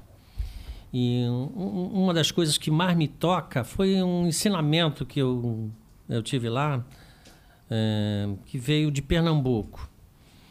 E que até hoje não, a gente não, consegui realiza, não conseguiu realizar. Aqui não vejo, pelo menos no Rio de Janeiro. E eu, assim que cheguei também na Secretaria de Planejamento, pedi um estudo à Subsecretaria de Modernização eh, da Gestão para que a gente pudesse produzir um relatório nessa linha. Mas muito mais do que isso. Que a gente pudesse ter o custo por paciente. Né? Eu me lembro como se fosse hoje que lá atrás Pernambuco fazia uma coisa simples, sem nenhuma tecnologia, estou falando de 25 anos atrás, sem nenhuma tecnologia que você indicava alguém entrou no hospital, porque isso acontece na iniciativa privada, entrou no hospital, então ele vai ter lá toda a sua ficha, o que gastou. No final, ele tem um custo para quê? Para o hospital faturar. No caso do poder público, não precisamos de faturar nada a ninguém, mas podemos demonstrar, podemos demonstrar ao cidadão, ao contribuinte, que ele não pagará aquela fatura porque ela foi paga com dinheiro dos impostos dele. E é um pouco desse exercício de cidadania que a gente quer levar. Então, nós estamos produzindo, estamos vendo algumas, alguma identificação. O Rio Grande do Sul também já faz alguma coisa nessa linha. Temos conversado com o SUS, o SUS tem um sistema. Aqui, como você tem as OS, que também já tem sistema, a gente está vendo como organizar Conversei com o secretário Kiep, que também está disposto a, a, a fazer esse processo. Então, dentro em, em breve, nós teremos a capacidade de estar tá oferecendo muito mais do que ser tendo orçamento, mas fazendo um acompanhamento como se fosse uma contabilidade de custos para que a gente possa apurar mais do que só o hospital, mas também um custo por paciente. Eu acho que isso é, tem uma outra vantagem, que além de contribuir para a cidadania, nós vamos ter a oportunidade de dizer ao a, identificar eventuais desperdícios que a gente tem, perda ou de medicamento que venceu o prazo, coisa dessa natureza. Eu acho que falta ainda a administração pública má gestão e é um pouco nessa linha que a gente tem tentado contribuir. Não é um trabalho fácil, você sabe, né, Marta, que você que, que é, é do serviço público. É, eu sempre brinco dizendo que os, é, é no serviço público, aquele que consegue sucesso merece uma estátua, porque é muito, muito mais difícil do que na iniciativa privada. Então, estamos caminhando, ainda não temos, né? mas é, dentro em breve a gente vai ter. De toda forma, eu não sei como é que está a contabilidade lá da secretaria hoje, se ela já tem isso detalhado por unidade hospitalar, porque eventualmente, se ele tem a, a, os, a, as unidades já segregadas em UGs lá, ele poderia estar tá fazendo isso eu não tenho, não tenho como te responder isso agora, mas é, é, é até um bom exercício para que a gente busque isso também, cobre isso. Com relação à assistência, tem um fator importante de 22 para 23, não só na assistência, mas em outros, em outros setores também, que foi a fonte 145. Que, na realidade, é a fonte 100, né? O 145 foi uma forma de segregar para ter maior transparência, embora você possa fazer isso do ponto de vista gerencial, mas é a fonte do tesouro. E quando a gente segregou essa fonte, porque ela tinha um objetivo para investimento, eventualmente pode ter uma ou outra despesa que tenha entrada, e despesas que são de despesas correntes, mas que tem característica de como reforma de, de estradas, por exemplo. E no caso da assistência, se nós tirarmos a fonte 145, porque ela não se repete, porque ela entrou no ano, ela só entra depois se for como crédito adicional, por isso ela não pode constar da peloa. Né? Quando eu falei lá do investimento mais aqueles 4 milhões, é nesse sentido. Então, se eu tirar a fonte 145, não tem redução. Ele se mantém igual. Tem, para ser mais preciso, tem 460 mil reais, que para um orçamento do tamanho do Estado não é nada. Então, ela, se mantém igual ao que a gente teve na piloto de 22. É possível se adequar e ter mais algum tipo de despesa na hora que entrar a fonte 145? É. Gostaríamos de ter mais ações para poder atender a população? Gostaríamos. O problema é que a gente não teve receita também suficiente. Um dado importante também, é, é, inclusive, é, não sei se eu, se eu falei sobre isso, deputado Luiz Paulo, é que com relação à dívida, a dívida que consta lá de pagamento no ano de 23, ela já está deduzida da, da, da compensação prevista na lei complementar 194, que é do, a compensação será de 2,8 bilhões de reais. Então lá, como a gente ia pagar 4,5, lá tem 1,7 de despesa que a gente já botou ali já reduzido, porque não pagaremos a totalidade. Então, é, obviamente que a gente gostaria que puder, que a gente tivesse capacidade para investir mais, especialmente no social, mas a gente também tem é, dois aspectos, né? Eu, eu, brinco muito de que a, a gente está sobre, sobre várias é, foices, né? Porque é a questão do teto de gastos, é a questão da lei de responsabilidade fiscal, é a questão da, do, do, próprio orçamento que você tem que conduzir para que não tenha é, déficit fiscal e a responsabilidade do regime de recuperação fiscal, que, que vem, obviamente, nos, nos martelando o tempo todo e estamos tentando cumprir para que tenha redução. Tem uma parte que eu sei que o deputado Luiz Paulo aqui está conduzindo a CPI da dívida, tem algumas discussões até é, já, já, já conversamos algumas vezes sobre, né? então acho que tem muito a avançar para que a gente possa equacionar e, dependendo como as coisas se é, conduzam para o ano que vem, a gente possa encaminhar um pouco melhor. Mas a mesma coisa é no, na habitação. É, ficou a mesma coisa também se eu tiro a fonte 145. Foi uma preocupação que nós tivemos, né? Para que a gente pudesse. Acabou ficando e ficando com o mesmo valor Obviamente que eh, as pastas gostariam de ter mais recursos e fazer mais ações. Infelizmente, a gente também não tinha condição de fazer isso, a não ser que cortasse, não desse, por exemplo, um aumento. Mas era um compromisso do governador, um compromisso dele com os servidores e um compromisso dele com essa casa também. Então, obviamente que ele acabou.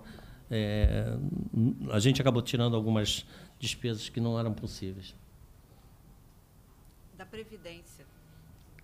Não me lembro da Previdência. Não, que na sua fala, num determinado momento, o senhor falou num déficit de 30 bilhões e falou da questão da Previdência que iria, de alguma maneira, ser impactada. Talvez eu tenha me expressado mal. Não, não, não é déficit. Nós temos royalties de 30 bi. Hoje a Previdência é superavitária, inclusive o fundo financeiro. Né? Hoje o Rio Previdência está com bastante recursos por quê? Porque o volume de royalties, mais o que os, os servidores contribuem, pagam a despesa total e nos, não, acaba ficando com recurso. Ele vai ter um superávit ao final do ano e que será transposto para o ano seguinte para poder aproveitar e a, a, utilização. E na LOA, na sua exposição, está previsto 22,4. 22 de, de receita para o Rio Previdência. Rio Previdência. O Rio Previdência ele vai gastar 31 bilhões o ano que vem. Ah, mas tem 22. Mas tem a contribuição do servidor que vai chegar a esse montante e ainda vai sobrar o que ele vai ter de saldo positivo esse ano. A gente está estimando, Stephanie, é 8 bi, não é isso? Para o ano que vem, 5 bi. 5 bi. Acho que faltou somente é, com relação aos royalties, né, deputada? Quando a gente faz a estimativa, a gente utiliza três, três fontes de informação, né? O barril Brent, né, que a gente pega informação através da EIA, que é uma organização mundial referência, também utilizada pela ANP. E aí a gente utiliza também variação cambial, que é informada no boletim Focus, Banco Central e também os relatórios da ANP na hora de fazer a projeção. A projeção que foi pra, feita, enviada para 2023, é de 93 dólares e hoje o Brent ele está 90. Tá bom? Acho que é isso. Passar a palavra agora para o nobre deputado Eliomar Coelho. Bom, é... Boa tarde já. Boa tarde para Boa tarde. Boa tarde para todas e para todos. Né? Quase boa noite já. Quero louvar a iniciativa aí desta audiência pública, né? do diálogo né? que está existindo e que deve existir entre executivo e legislativo, segundo o secretário de Fazenda, que é um, um diálogo muito bom e que tem dado como resultados positivos. Eu até concordo que o diálogo tem existido, os resultados é que não têm sido positivos. né? É, não, eu, eu, você sabe o que é a minha preocupação, e eu sempre tenho colocado isto, quer dizer, parece que nós vivemos numa bolha. Quer dizer, o legislativo vive numa bolha, o executivo vive numa bolha, então, então, tá, é cada. Porque, por exemplo, na apresentação do orçamento, a diferença de queda daquilo que deveria ser alocado como recursos em relação à assistência social, quer dizer, é um negócio que a gente fica às vezes sem entender. Não é? Quer dizer, será que a assistência, essa política pública da assistência social não está necessitando de um olhar, não só o olhar, um tratamento também diferente? Né? A, a, a, por exemplo, a queda de renda na política pública da habitação, na política pública é, do urbanismo, entendeu? É mais ou menos é, esta coisa que é uma outra coisa que eu reclamo, quer dizer, é, no governo os órgãos não se conversam entre si.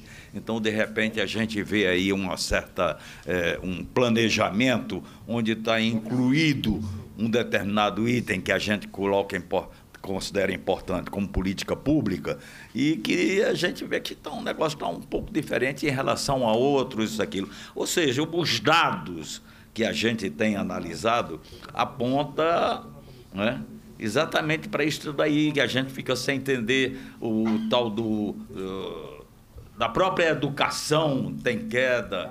Por que essas quedas? Entendeu? Que são políticas importantes e políticas alavancadoras do desenvolvimento do Estado do Rio de Janeiro. Então, parece que não há a, questão dos transportes. Olha que esse negócio dos transportes não é de hoje que a gente tem batalhado aqui. Não é, é de hoje. E realmente é um negócio muito complicado. Agora, a minha preocupação maior mesmo, e o deputado Luiz Paulo Correia Rocha, deputado, é, deputada Marta Rocha e deputado. Canela Canela, Márcio Canela, a minha preocupação maior mesmo é a questão do Pacto RJ. Aquilo dali eu gostaria de entender como é que os senhores têm trabalhado o orçamento é, para dar cobertura àquilo que está previsto naquele pacto.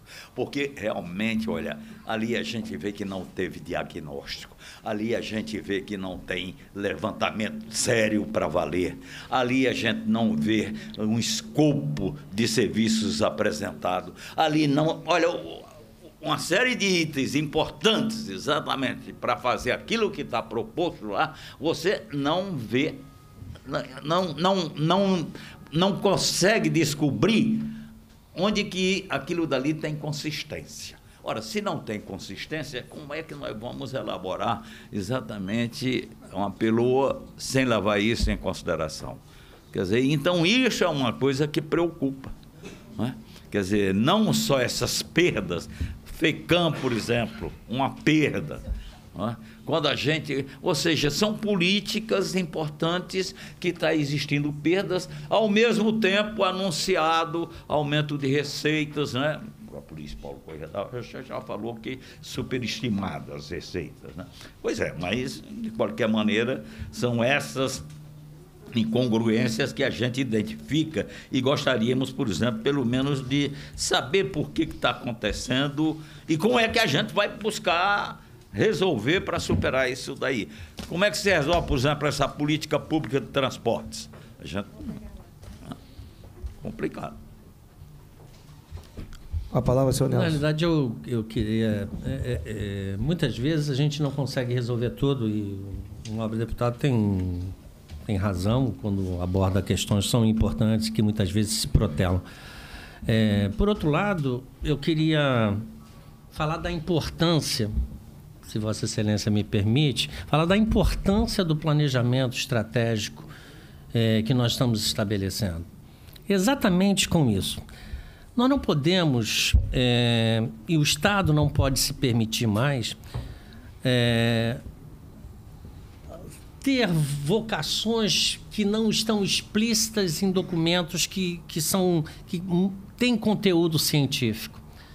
Então, o que, que nós estamos fazendo? Nós estamos estabelecendo regras, e, e não, não é regras, é diretrizes para o desenvolvimento. Todo mundo me conhece aqui, Mauro me conhece bem, é, como eu penso sobre a questão é, das finanças públicas e como eu imagino é, um, um, Estado para o desenvolvimento, porque é assim que eu acho que nós vamos construir. Nós ficamos a vida toda discutindo receita, despesa, diminui aqui, como nós vamos trazer desenvolvimento. E desenvolvimento de forma é, para que o Estado possa progredir e atingir toda, todas as regiões do Estado. Por que, que nós temos uma vocação ou não para um ou outro segmento? Como nós podemos construir e dar esse direcionamento? E é nessa linha que nós estamos fazendo. Leva algum tempo, não é fácil. Nós estamos dando agora os primeiros passos e fincando os pilares desse desenvolvimento, seja do ponto de vista econômico, social ou territorial. Né? Considerando as transversalidades, como eu falei há pouco aqui, tanto da inovação tecnológica quanto da sustentabilidade. Como nós conseguimos avançar, por exemplo, em alguns complexos econômicos, né? a gente discute muito a questão, Mauro é um estudioso disso, do complexo econômico da saúde, por exemplo, como nós avançamos nessa direção para que isso se transforme também num fator de desenvolvimento que vai melhorar as nossas finanças públicas. E não é por outro motivo que, quando nós apresentamos o regime de recuperação fiscal, lá no diagnóstico, nós apresentamos que o grande problema das finanças públicas estadual ele está centrado no que denominamos de estrutura produtiva oca. Ou seja, não é apenas o Estado, é a sua estrutura econômica que está oca em que você tem a cabeça do segmento econômico, mas não está encadeada. E quando você não encadeia todo o setor produtivo, você não gera arrecadação suficiente para equilibrar as contas. Então, é a partir daí que nós entendemos que o Estado se modernizará, que o Estado recuperar, recuperará a sua capacidade de investimento e, mais do que isso, que ele terá condições de gerar recursos suficientes para atender essas demandas que todos nós aqui, não tem ninguém, nenhum de nós aqui, as pessoas que, que, que se preocupam com, com uma questão pública, né, uh, se tem isso em mente, nós precisamos é, avançar mais. Tem muita gente necessitando, uh, seja a questão da assistência, seja habitação. Habitação, eu acho até que quando a gente tiver o superávit da 145, parte desses recursos da fonte 145 serão destinados à habitação. Só que por uma, é, por uma forma legal de apresentação do orçamento, ele não pode constar mas depois, como crédito adicional, eventualmente pode ser destinado para habitação, porque dessa fonte a gente está destinando exclusivamente para investimentos. Mas quando nós fizermos essa, é, esse desenho em que a gente tenha essas estruturas projetadas, e eu não estou falando de governo, estou falando de Estado, projetadas para o Estado do Rio de Janeiro de longo prazo, eu tenho a certeza que nós poderemos ter o melhor aproveitamento dos investimentos públicos. Então, são passos ainda, não estou lhe dando uma resposta concreta sobre o que tem agora, embora a gente não tenha. Quando eu tiro a fonte 145, como eu disse aqui antes, nós teremos. É, nós temos, do ponto de vista da assistência, da habitação, a gente está no mesmo nível do ano passado, na, da PILO apresentada no ano passado. É o que desejaríamos? Não acredito. No governador não tem ele gostaria de estar fazendo mais. Qualquer governante, qualquer político, qualquer pessoa de bom senso gostaria de estar fazendo muito mais. Mas muitas vezes também você tem que ter é, a responsabilidade de fazer dentro do limite que se tem de recurso. Então, eu acho que são passos que estamos dando, ainda que possam ser lentos lentos no sentido. Nós gostaríamos que isso fosse mais rápido, mas eles precisam ser dados com consistência. Né? É, eu tenho a certeza que nós chegaremos a um bom resultado na frente. Estamos caminhando nessa direção exatamente do, de como Vossa Excelência apresentou aqui, mas ela ainda durará algum tempo e o orçamento de 23 que bom que a gente está apresentando um orçamento equilibrado. Embora o deputado Luiz Paulo discorde de mim, achando que a receita ela está superestimada, é, eu acho que a gente, em função do, do crescimento, pode chegar lá. É, não acho que ela esteja dessa superestimada, mas, enfim, estamos perseguindo o orçamento equilibrado com a tentativa de botar investimentos, mas, sobretudo, de criar políticas públicas para que a gente atraia mais empresas e aí sim a iniciativa privada poder proporcionar para o Estado do Rio de Janeiro esse desenvolvimento que a gente tanto almeja. Mas como é que justifica, por exemplo, a assistência social de 1,4 em 2022 passar para 1? Só? Não, então, é a fonte 145. É porque a fonte 145, ela constava lá. A fonte 145, ela não. Quando eu tiro a fonte 145, eu não tenho. Me presta aqui. Eu não tenho isso porque ali tem fonte 145, muitos dos programas estavam lá dentro. E ele, como eu não tenho um fonte, fonte 145 porque ela é retirada, acaba diminuindo. Eu tenho aqui.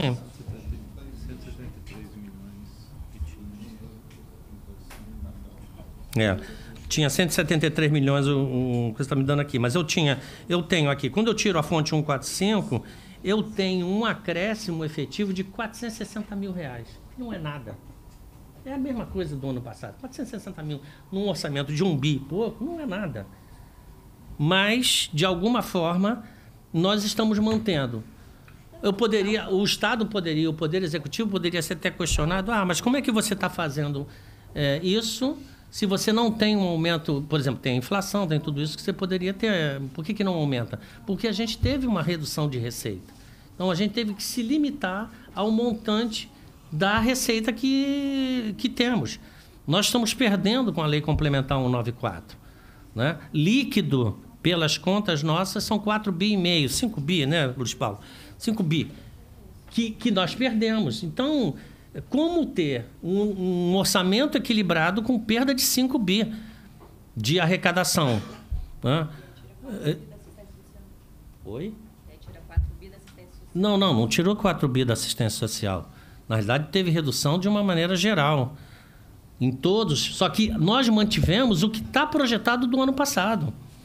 Então não há redução. Né? Essa coisa de achar que tem redução, ela não tem. Se eu tiro a fonte 145, que é uma fonte extraordinária da, dos recursos da SEDAI, que tinham como objetivo investimentos, especialmente no caso da habitação, para a construção de moradias, eu não estou reduzindo. Então, é bom que a gente deixe claro isso, né? que não há redução. Então, é, porque fazer, fazer orçamento com déficit, deputado, é muito fácil. É muito fácil.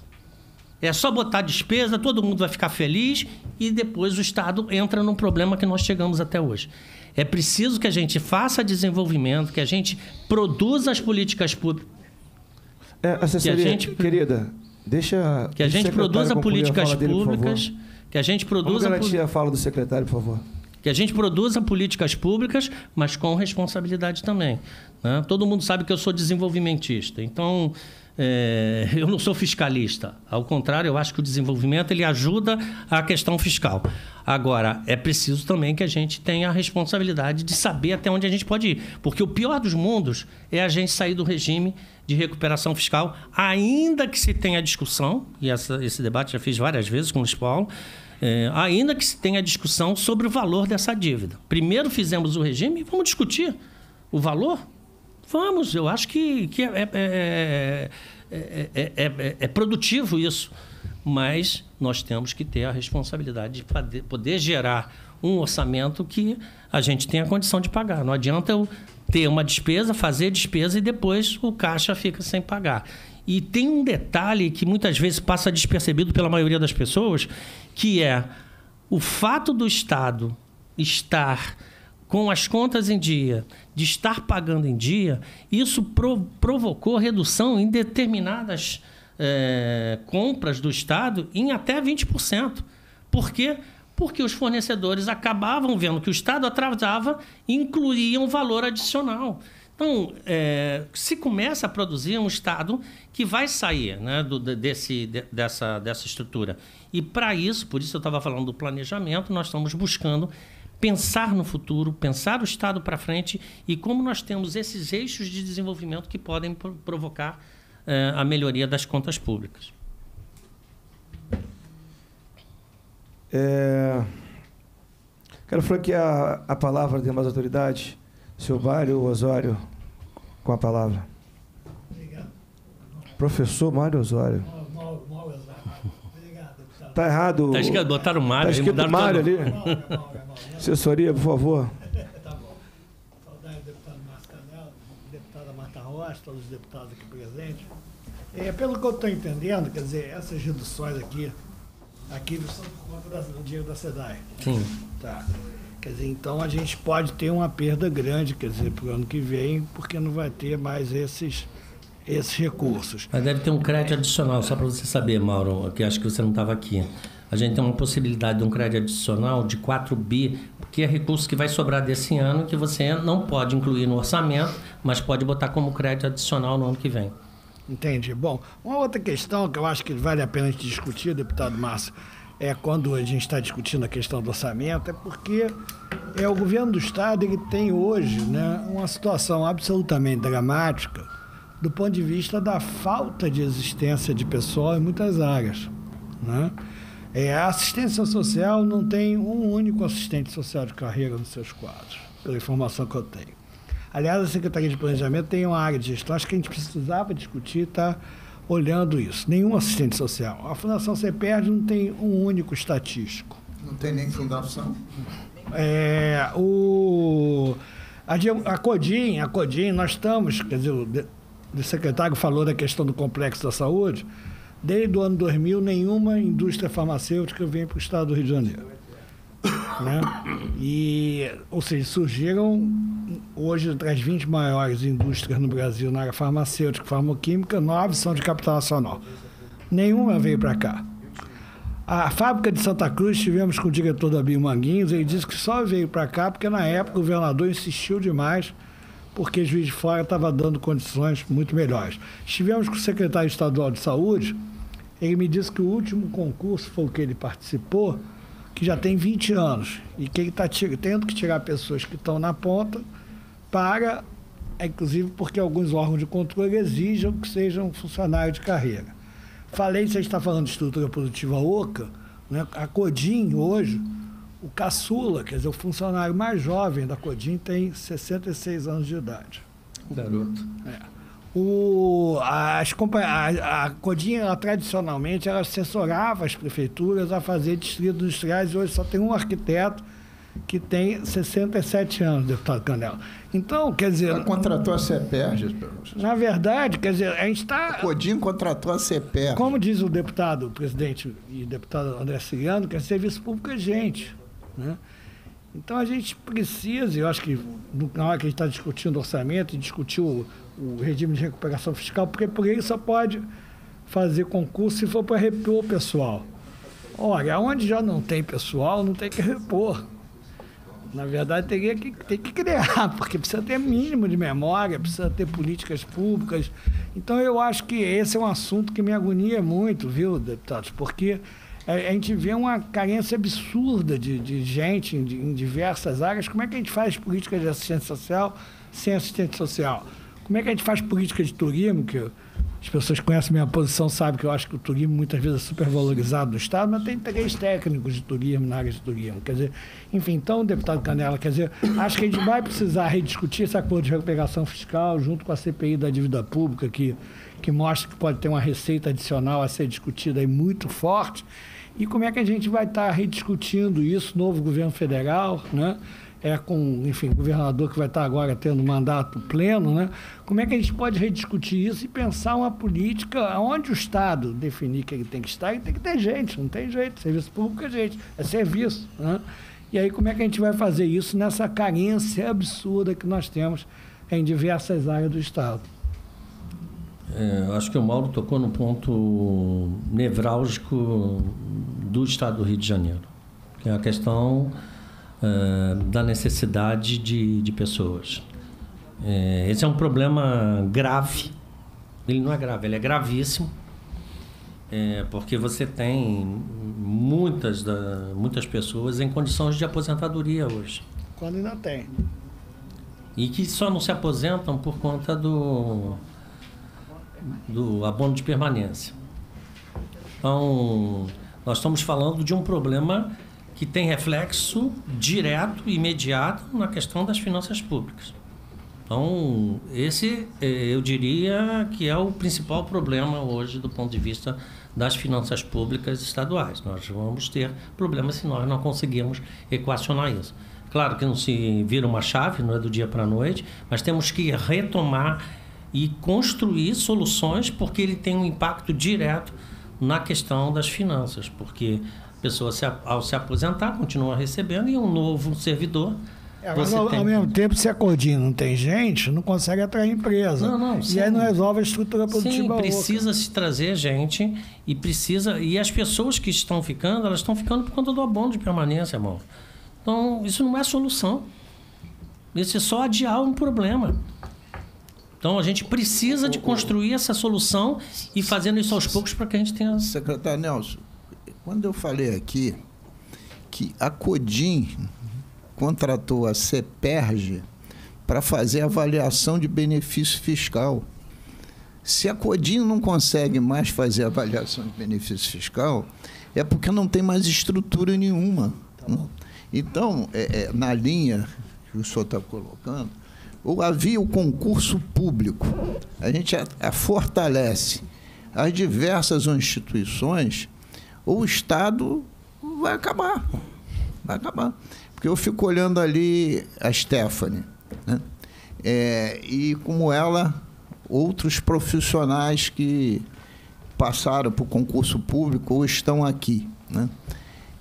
São essas pessoas dessa faixa etária aí de 30 anos, né?